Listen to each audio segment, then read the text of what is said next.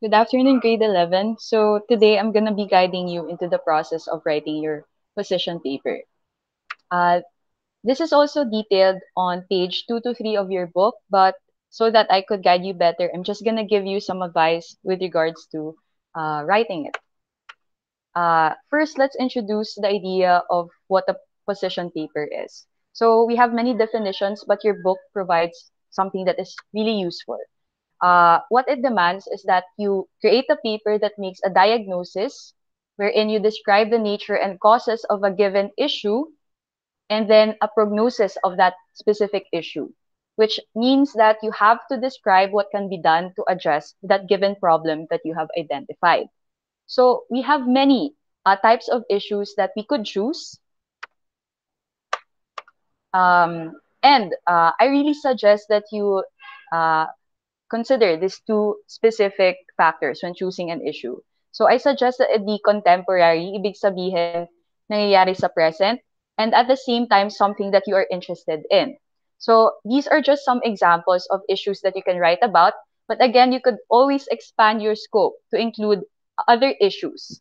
Uh, as long as, again, it's contemporary and it's something that would interest you. So there's no limitations with regards to geography. Pwede kayong pumunta or lumabas ng Pilipinas. Again, as long as contemporary siya at saka uh, interesado kayo. But these are just some examples. So you could always write about the government budget for 2021, anti-terror law, vaccination. You could even write about show business, such as Julia Barreto and Gerald Anderson issue.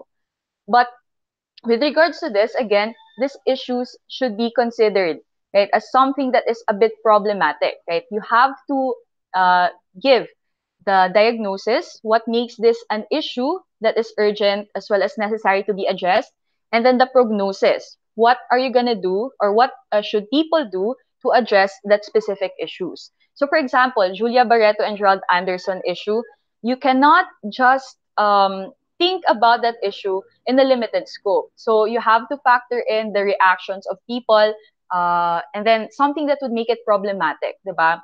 And uh, give a diagnosis kung bakit problematic yung issue na iyon, and then ibibigay yung uh, prognosis. Okay, paano masolusyonan? So you might pinpoint, for example, the reaction sa social media, and uh, what makes the reaction problematic, and uh, what could be done so that it doesn't uh, become problematic in the future, right?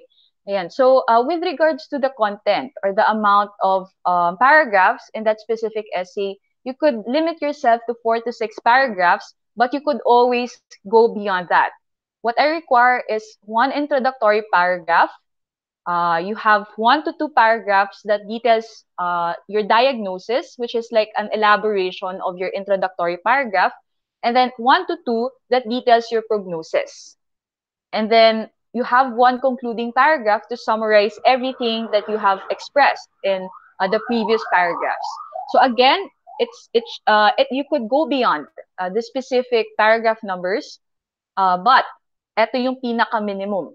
Yan. So um, depende, 'di ba? Kung gaano ka elaborate and then kung gaano ka-deep yung pag-delve nyo sa issue. Kasi again, you can always go deeper with regards to that. But uh, this is, uh, what I, I suggest is that you also try to limit yourself because position papers that are more brief, but then are more concise, right? And expresses the key roots of the issue as well as um, express as well the the uh, prognosis or the solutions are generally better compared to if you have a really long paper Okay? Pero, ayan. So, depende lang naman sa inyo. Uh, with regards to the sources, you can always start with scanning your social media, such as Twitter, Twitter and Facebook. But again, you have to make sure that it's just a scanning phase. So, dun pwede kayo mag-start, but then it shouldn't be the end of your research process. You have to go through the news sites that are uh, that uh, that are credible, right? So, kailangan nating mag-select kung anong mga news sites yung credible na ito And these are just some suggestions of news sites that are credible. Uh, you have Rappler, you have Inquirer. So when we're talking about credibility, syempre, yung ine-expect natin dyan is that they do their research well, they cite credible sources as well, and at the same time, if there are any errors, they remedy those errors. So these two newspapers have those kinds of mechanisms. Kasi again, iba yung kanilang uh, difference nila sa social media. For example, is that walang checking yung social media. The sources that are cited are not credible in the first place. And then wala silang masyadong stake with regards to reputation nila. So kahit sino lang pwedeng mag-post. While if you are a news site, your reputation is at stake, diba? Given that this is your job, basically, or the job of the news sites. So these are just some. And for Rappler, I really suggest if you want to go into an issue in depth, you go to the news break section and then go to the explainers because it's a comprehensive outlining as well as elaboration of a specific issue, uh, usually contemporary issues. Though. And then you also could go and then find out opinions uh, from the Inquirer opinion side. Uh, usually, you have really uh, credible opinion writers uh, respected in their field and uh, they would usually target contemporary issues um, para magbigay, di ba, ng perspektibo nila. So you could go and start with that if you want. And you could also consult government websites, kahit anong government websites. So you could start, for example, if you're interested in human rights, you could go Commission on Human Rights. You could also consult university websites. So for example, UP has a list of position papers in the UP CIDS, a Center for uh, Development Studies. And you could also go to Ateneo and LaSalle. Just search LaSalle position paper or Ateneo uh, position paper, any sort of university that you think might be uh, relevant. So, for example, kapag outside na sources, you could uh, use, di ba, yung ibang universities uh, from UK, from US, and so on. Meron yan silang mga position papers or publications with regards to the issues contemporary issues specifically. Yan. So uh, that's the next part. And this is an example uh, that was given also in your CLE, but I'm just going to detail it. So the example of the position paper I gave was uh, created by the IBON organization, which is an economic organization that releases publications as well as position papers regarding key issues. Yan. So uh, with regards to the title, di ba makikita natin this is a clear and uh, concise title that already expresses what you need to know about what the position paper is. So, diba, basically, it's a prognosis. Ensure sufficient, safe, and accessible water during COVID-19 crisis. So, it's limited and then specific, right? And you could see that at sa pink, diba, you have the title that is uh, in yellow. Make sure that your title is also like this. So, alam ko kaagad kung ano yung magiging laman ng position paper ninyo. And eto, yung pink, the pink one, this is the introductory paragraph. So again, you only need to do one introductory paragraph. You can give the context.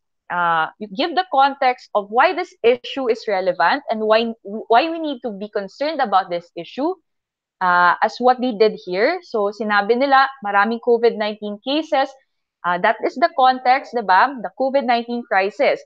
And then you could see here that uh, the World Health Organization, for example, specified that water or as access to safe and potable water is one of the key conditions so that people could actually survive the crisis. Okay? Okay, so ito yung ano, yung broader context sa labas. The diagnosis will try to uh, ask the specific context. So ano yung konteksto sa Pilipinas? ba? Ganun din. So from the introductory paragraph which is broad, narrow it down. Try to narrow it down. Try to get more specific. So, um, hindi makikita yung, uh, yung report na ito, pero you can go to the website from Ibon or you can go to the link I sent you to the CLE and then think where the diagnosis part is.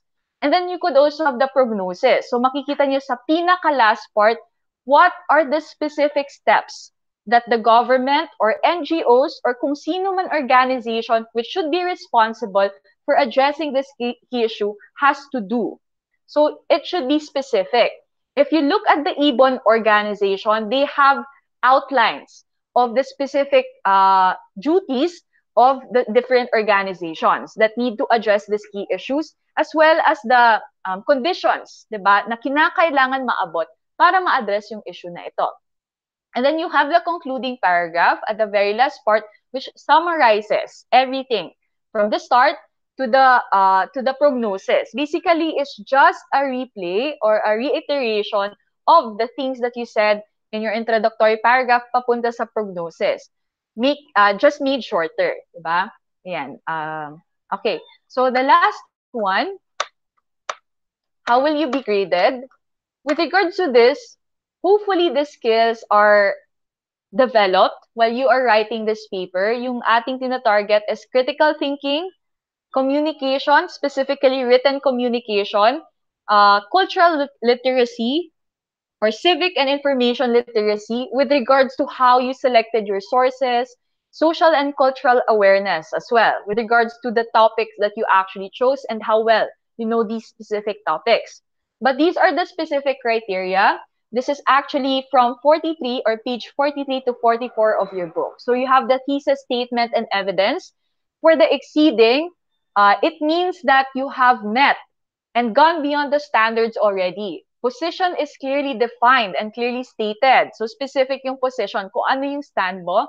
Two to three main points or main arguments are provided to support position and are supported by evidence. Counter arguments are identified and addressed. For those of you who do not know counter arguments, these are uh, the mga reservations, 'di ba? Or mga sinasabi nila to fight against the arguments that you have outlined. Okay, so uh, yun, yung exceeding. With regards to the beginning, just uh, just read through the standards. Make sure that when you are trying to write your paper, you're also actively thinking or actively evaluating if your paper is meeting the specific standards set here. So, the beginning, if yung position natin vague or hindi masyadong clear when we're reading it to ourselves or to others, if there are reasons but these reasons are not supported by facts, or medyo general reasoning natin pero walang ebidensya, we haven't cited any credible sources, and gen- general statements are provided but not specific ones, then you will be graded 1 sa beginning na aspect.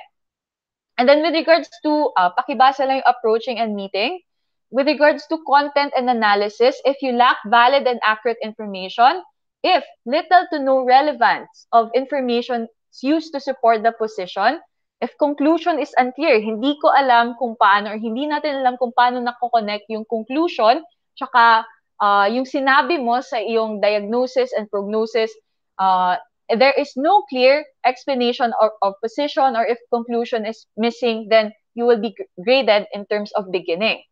With regards to the exceeding standards, strong or deep analysis of the issues and uses a variety of information that is credible, position is developed from analysis to the conclusion. So merong logical na flow, diba? From your diagnosis to your prognosis to the conclusions.